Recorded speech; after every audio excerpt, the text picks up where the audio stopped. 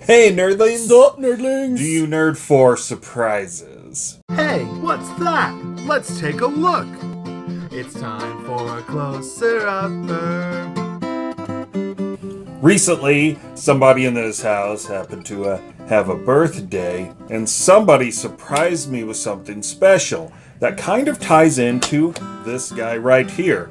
So, this is our buddy, Russ Slyman. We got this in a recent video from JP Switchmania, and I was super excited because this is actually the slime controller for the Switch.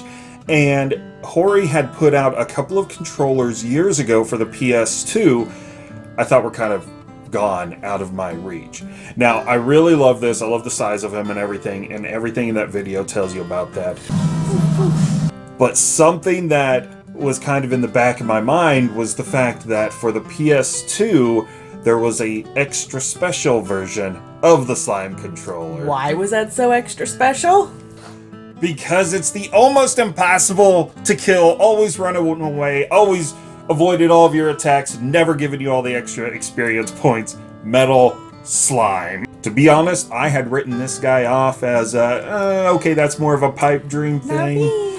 Yeah, she listened and she surprised me on my birthday with this guy. As you can see, he comes with a similar base that he rests in. The base is a lot larger than Which I uh, think what is- Russ Slyman has. I think it's kind of funny because Russ Slyman is bigger, but his base is smaller. Yes. And he's smaller, but his base is bigger. Uh, Someone's compensating. I think I think Russ Slyman was supposed to be more of a king slime, and I don't know. Maybe maybe his base was that big, but he just kind of smushed it down.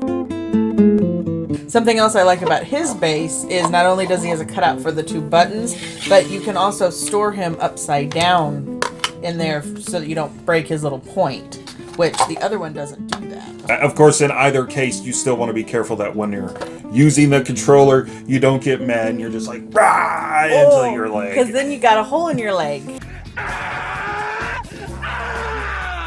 Plus, he looks very whimsical when he's upside down. Now, the controller layout itself is very reminiscent of the PS2 controller. It has the dual analog sticks, and they have a nice, satisfying clickiness to them. Of course, the directional pad and your face buttons, your start selected analog, and your shoulder buttons.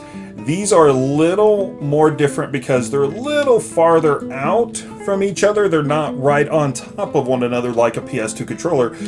But, at least for me, again, the shape of the controller is not uncomfortable, and where my hands rest because of the slime shape, those work really well. It's just unfortunately he's just a little smaller. The Russ Slyman is a little bit more comfortable to hang on to simply because he's a little bigger. For man hands, that's right. This one is a like a smooth, shiny plastic surface. Yes. Whereas the other one is kind of a more like somewhat textured a little bit. Kind of a matte finish mm-hmm. almost. Yeah. The other thing is, is he's just stickers for his mouth and eyes, whereas the other one are actually inserts. rubberized eyes on Yep. those. So clearly they took some design elements from this and improved it with the newer mm-hmm. controller. Now my mom couldn't understand why we kept calling this a slime, and she thinks it's a Hershey Kiss. so she didn't want to know why we weren't calling it the Kiss controller. I said Gene Simmons would would be suing them real quick. The last big thing to note is in the back there is a controller port, and it has uh, you know this this very proprietary port here, and then that connects to a cord that plugs right into your PS2. The funny thing is.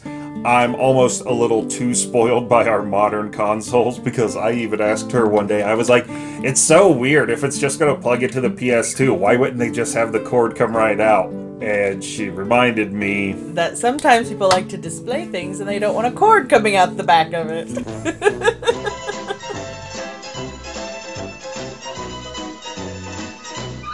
I love getting you things that you never thought you will get, and I love to surprise you for your birthday. So happy birthday, my Well, love. thank you very much. And these two go great together. They do. I guess now we just got to get the blue one like this.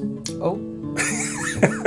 Hinty, hint, hint, hint. I definitely love having pieces like this because they're just always so much fun. They're great show pieces. They're great conversation starters in the collection. They're a great piece of gaming history. They too. are, and honestly, neither one of these feel uncomfortable, which still It- blows my I mind. I know it really doesn't seem like it should be comfortable at all, but it is.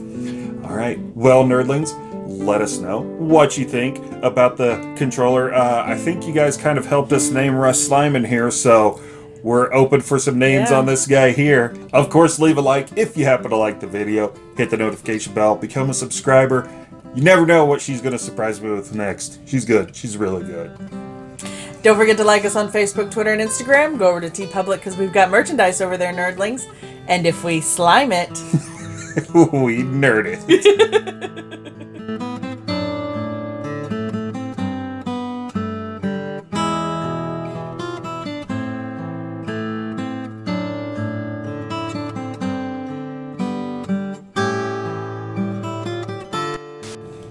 what's that? Let's take a look.